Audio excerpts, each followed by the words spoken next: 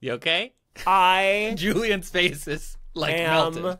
amazed. So Kodiak's question was, could we hypothetically paint a Mona Lisa by utilizing microscopic thing? Uh, yes, we do. Lots of different art competitions do this even now, including, of course, nanoartography created by Professor Babak Anasori. So I called him and I asked him about the Mona Lisa.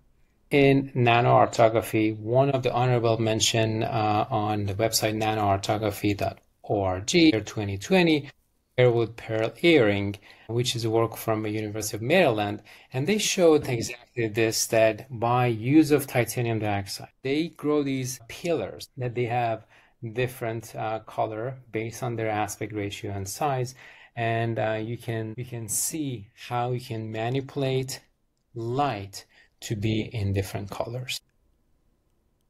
I look Right. like the scream guy, but like Yeah. happy. Yeah. You know? So it's all titanium dioxide, and then just by varying like the height, I guess, of like the yeah, titanium. the height and aspect dioxide? ratio. The thing is, what he just showed us is at the nano scale. It is so, so, so small, and it's literally just teeny little pillars of titanium dioxide.